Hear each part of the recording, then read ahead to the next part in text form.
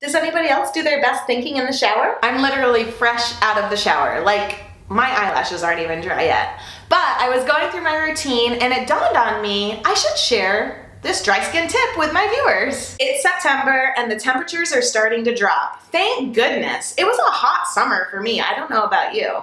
Fall is my favorite time of year, but it's also when it starts to get cold outside, and that's when our skin will start to get a little more dry. Hey everybody and welcome back to my channel. I'm Jessica Peryea, Platinum Premier Leader of my team of Poshpreneurs, and today I'm gonna tell you how to take care of that dry skin. Oil. Whether you use Posh's dry body oil or any kind of coconut oil, oil is amazing for your skin, but only when you lock it in. So of course my oil of choice is the You Apricaught Me Dry Body Oil from Perfectly Posh. But of course you can use any oil that you'd like. But remember, not all oils are created equal, so you wanna look for a high quality one. So I've already done that step. Before I even step out of the shower, I apply my body oil all over. It's a lot easier when you're naked, by the way, but I figured I'd spare you that show. you wanna apply it before you're even getting out of the shower because you're still wet. I apply it right to my wet skin. That's pushing that extra moisture right into your skin.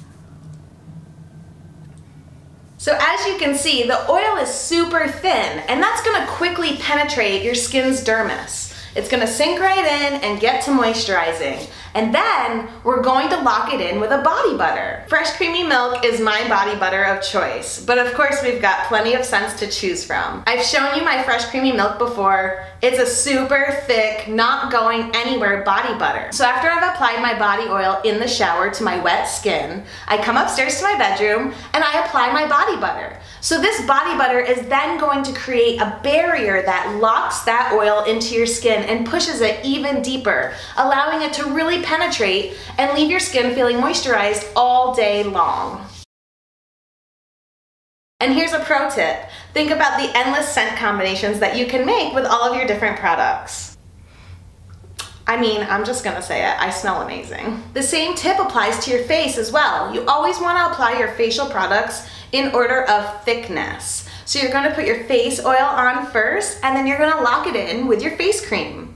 You don't have to use a face cream, but if you're feeling like you have dry skin and you wanna pack some extra moisture, then I totally recommend using it as a combo. Apply your oil first and lock it in with your cream. Hopefully this dry skin tip helps you get through this winter because I know it's going to be getting cold out there. If you enjoyed this video, please be sure to give me a thumbs up and don't forget to subscribe so you can get some more tips and tricks with Jessica Posh. Thanks for watching!